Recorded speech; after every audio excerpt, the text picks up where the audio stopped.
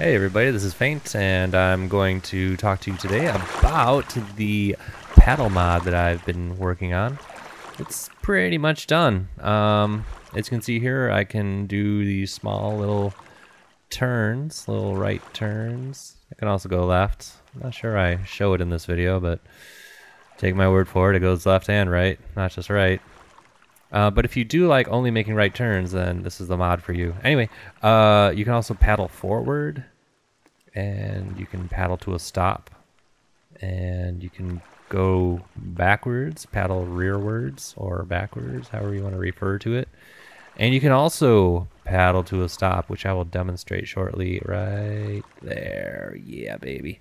Um, I noticed that uh, I had to do this paddling to a stop thing when I was trying to paddle up to a ladder and I would almost get there, and the boat would just kind of slowly sail right past it. So I needed to put on the brakes. Uh, all these keystrokes are just uh, things that you probably don't use anyway uh, when you're in a boat, like the step over command is how you stop, and the seagull commands, uh, like seagull forward and seagull backwards, those are ones that I never use. Uh, oh, this is nice. This is, uh, I changed the uh, effectiveness of the rudder so that basically the rudder it works now instead of just being like a, a dull, lame thing.